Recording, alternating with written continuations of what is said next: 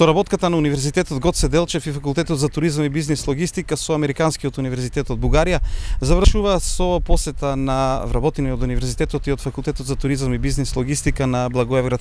Разговараме со Дејан Методиевски. Дејан, што значи ова завршување на целиот проект, какво искуството од целиот проект до сега и што ќе работите во Бугарија? Дали тоа значи презентација на она што таму е сработено со проектот? Така, сепак ова е една завршна манифестација значи едно заокружување на една успешна приказна, еден проект кој што го направивме заедно со Американскиот универзитет од Благоевград и нашиот универзитет Гоце Делчево Штип.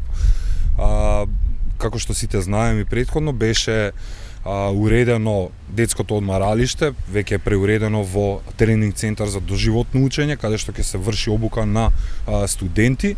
А, сега одиме како еден дел, една завршна манифестација, чисто да се одбележи овој проект и а, да се видиме со колегите кои што сите учествуваа во овој проект и сите а, дадоа придонес, иако некој од нив нема да бидат во моментот таму и од наша и од нивна страна, сепак а, едно, а, да кажеме да се заблагодариме на сите кои што земаа учество и сите кои што дадоа поддршка за да може да се реализира овој проект. Че практично ќе биде презентирани бенефитите кои што Универзитетот во Бугарија го има од овој проект.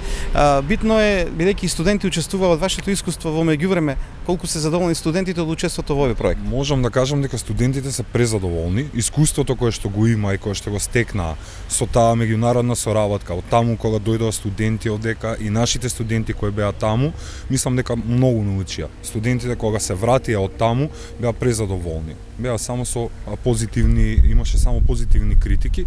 Исто така и студентите кои што беа од Бугарија тука, бидејќи ние имаме извештај, се води по по проектот се водат извешти и може да се види колку е тоа големо задоволство и колку вакви проекти треба да продолжат во иднина, односно да не застанеме тука со овој проект да, да го надоградуваме. Благодарам.